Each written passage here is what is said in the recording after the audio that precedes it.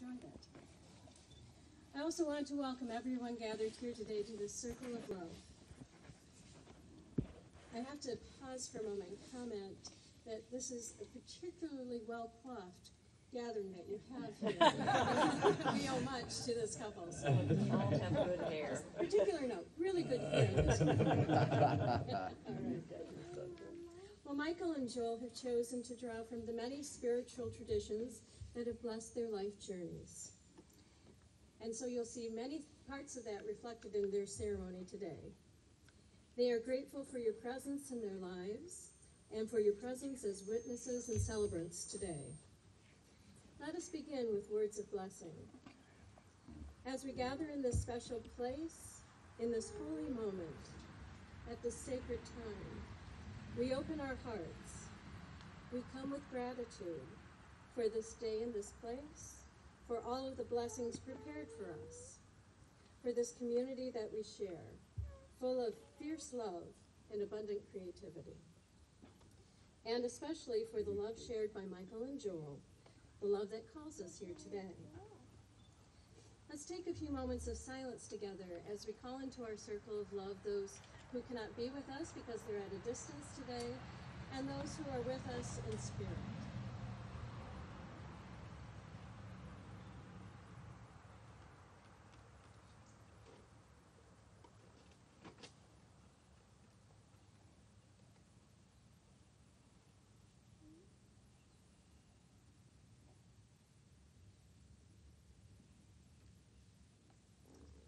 And I invite you to echo after me an Alleluia.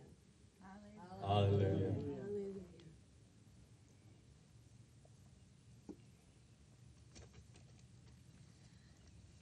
Joel and Michael, I invite you to declare now before this gathering of your friends and loved ones your intention to marry. Please repeat after me. We'll begin with you, Joel.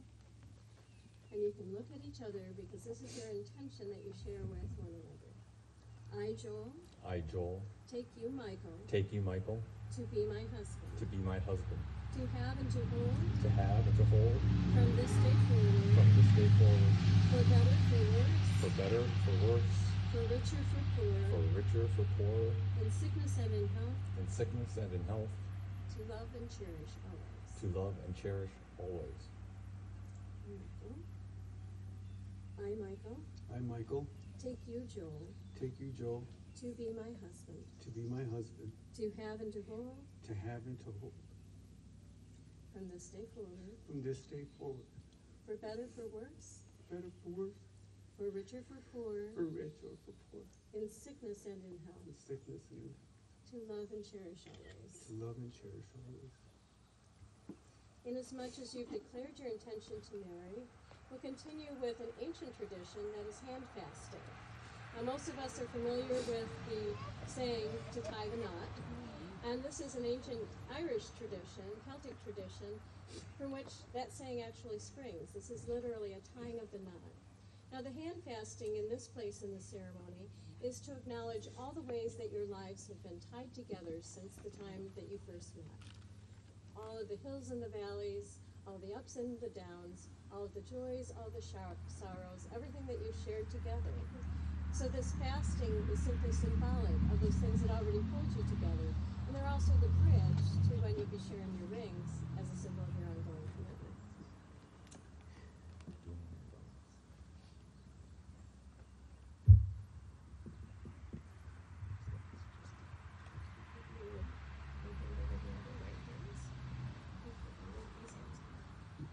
Just like we rehearsed.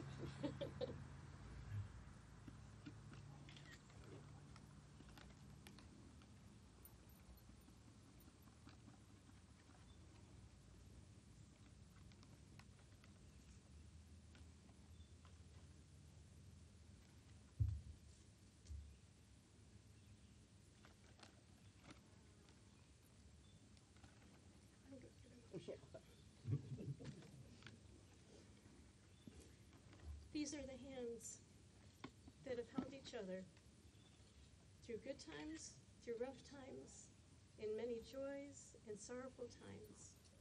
These are the hands from this day forward that you will hold, to hold each other, to strengthen one another, These are the hands that will wipe the tears. These are the hands that will clasp and raise in joy. These are the hands that will work together side by side to continue to build and create the life that you've begun together. From this day forward, you will be bound by all that you've shared, by all of the promise and the potential that still lies within your relationship and your life together. These are also the hands that pulled everyone here and have brought everyone here to this place to share this time with you today. So this is a sacred binding. I invite you to take this cord in your hand, put this cord in yours, and remove your hands and tie your knot.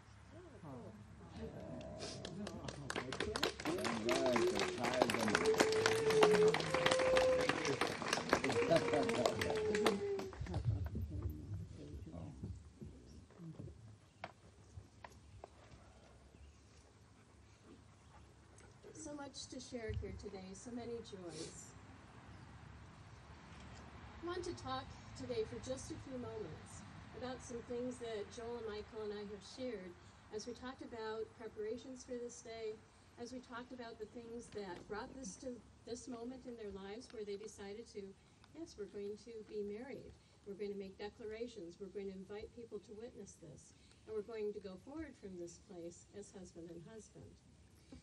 Um, there were a number of things that they expressed, and sometimes we touched on even some of the social things that surround their relationship and all of our lives here. So there were several things that I wanted to share with you that reflect some of my own thoughts, but also some of theirs for you. And what we came to at the heart of everything that we talked about was about having love in the open. So starting with thinking about love itself. Now, love is this commodity, is this entity, is this life force, is this everything at the heart of our universe. It's at the heart of each of us in our beings, in our physical selves, in our mental and emotional selves, in our spiritual selves. Love is at the heart of it all. And I think most of us, for most of our lives, recognize that love is a very precious thing. Well, it's interesting how we as humans treat things that are precious. Sometimes we hold them carefully. We might tuck them away in a box, or we might kind of embellish them, or embroider them, or create something that we kind of tuck away and keep safe. We do that with a lot of precious things. And sometimes, I think unfortunately, we do that with our love. Rather than share it extravagantly and in abundance, we carefully share it with one another. Sometimes we carefully share it in the beginnings of our relationship because we're afraid of rejection, we're afraid to offer more than the other person is ready to receive or more than we might receive back. There's so many things that affect the way that we love one another. And in this world, there are so many outside pressures that also impact the free expression of love. Here today, we celebrate fully that love in the open is who we're called to be as human beings. It's what we're called to share in families and in community, loving in the open. Now, Joel and Michael talked about wanting to encourage everyone for whoever you have in your life family members, it could be sons, it could be daughters, it could be nephews and nieces or cousins. It could be young people that you encounter through your work or through your daily life. It could be anyone of any age. To not hold back those expressions of acceptance and of love, because it's what we need most in the world right now. So, those ways to just simply say, in a casual opportunity, oh, you know, that's really okay that these two people can be in love and they can have a relationship and share a life together. All those ways that we can simply make it known to one another that it's okay to love and to love in the open, to love as we are, to bring ourselves as we are, to come as we are, literally, into our relationships. And my encouragement to all of us today is from this day forward to go forward and share abundantly and extravagantly that precious commodity of love. Now, most of us, I think, are of the age that we remember a song from some years ago. What the world needs now is love, sweet love. It's the only thing that there's just too little of. What the world needs now is love, sweet love. No, not just for some, but for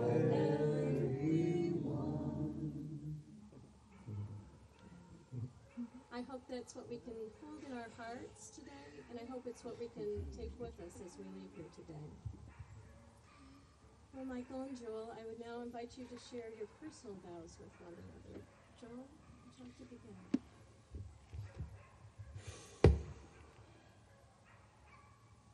I love you so much.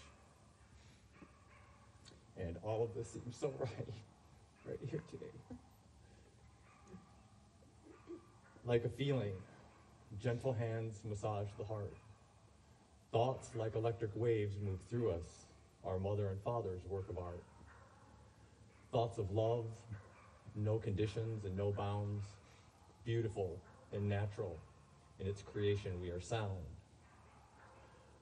Our meeting was sudden yet not too brief, spending hours sharing passions, truths, and beliefs. A love and a friendship manifested from all that's true. Grace humbly delivers me to you and you to me.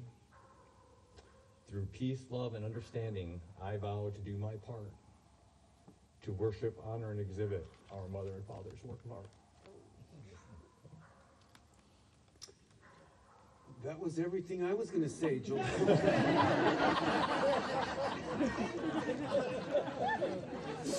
Great. You took the words right out of my mouth. Well, he really did, but I just wanted, the first time I met him, uh, he just made me happy. He made me laugh. Hadn't done that for a long time. And we continue to laugh. And I love hanging out with you and everything that we do together. And I hope that we continue to do it together with the passion and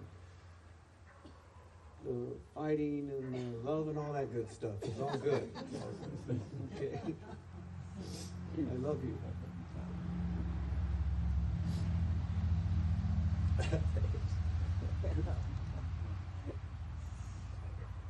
Was And I know that Joel has a song that he wanted to share also. As part of the gospel.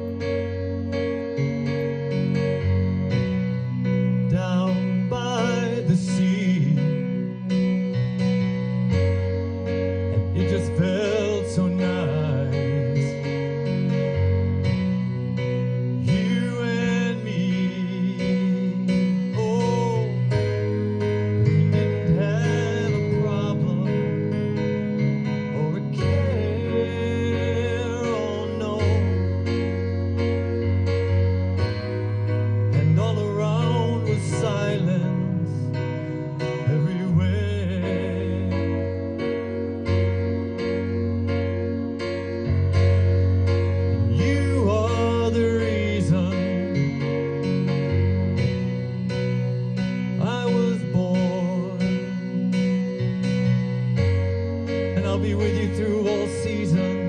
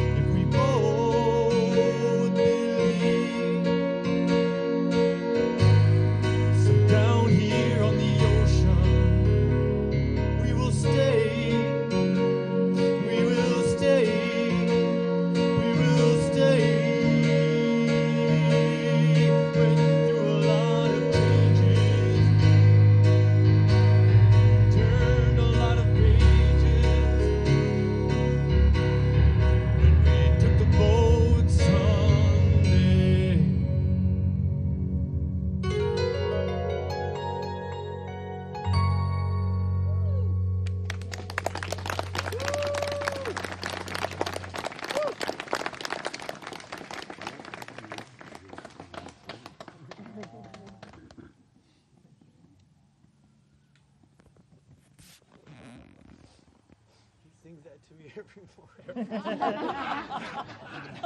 and I sing it back to him every morning.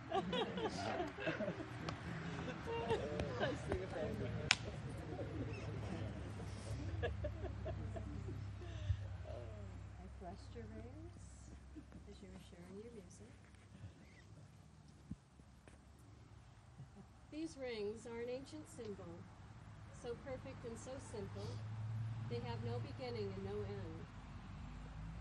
They are round like the sun, like the moon, like the eye, like arms that embrace. They are a circle, for love is that which comes back round again.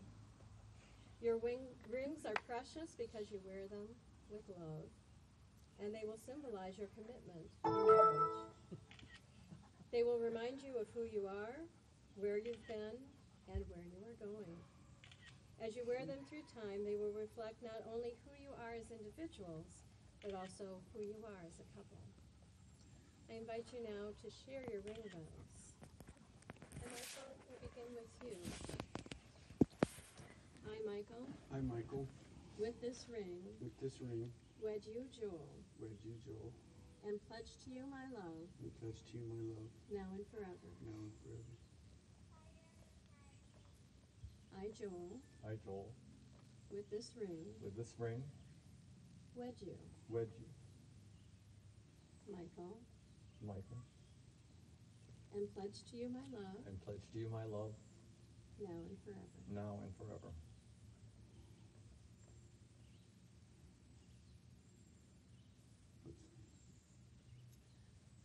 Taking a moment to take this.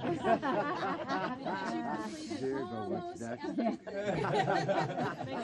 Almost Did I say that out loud? completely- Yes, you did. Almost Yes, you did. completely wedded. This is your last moment here.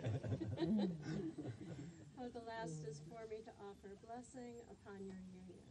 May the joy that brought you to this place and time, the love and the joy that shared here today, be with you and always, and bless you in your home, and bless you in your lives, and bless you as you share your love, and bless all these people. Thank you for including me in your ceremony today, in your, in your wedding. It's very Thank you. Thank you. Now, I want to turn to our guests for a moment and offer you an opportunity. As much as Joel and Michael have been sharing their vows and their commitment, I will invite you. Will you, as friends, as family, as honored guests and loved ones, will you vow to love and support Michael and Joel have you, as you have to this place from now forward? If so, say, I will. I will. If they come to a place where they are struggling in life with each other, with forces about and beyond, will you step in and be their advocates and come along by their side and support them in moving forward to a place once again of great peace and of great joy? If so, say, I will. I will. And I invite each of you to take just one more moment of silence in this sacred space and time to think of your own vows and commitment to love. The wedding relationships that you have shared in your life and continue to share, your loved ones who you hold in your hearts that have gone on from this earthly plane, the opportunities that you have to love in the open each and every day. Let's take a few moments together to consider.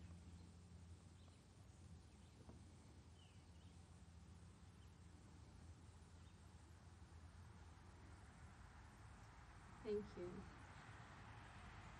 Michael and Joel, inasmuch as you have indicated your commitment to marriage through your hand fasting, through the sharing of your personal vows, and through the exchange of rings, I do now pronounce that you are, are husband and husband together from this day forward.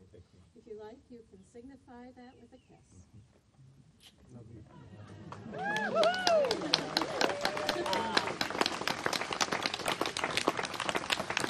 It's truly my honor to introduce to you for the first time as wedded husband and husband, Joel and Michael, Michael and Joel. Let us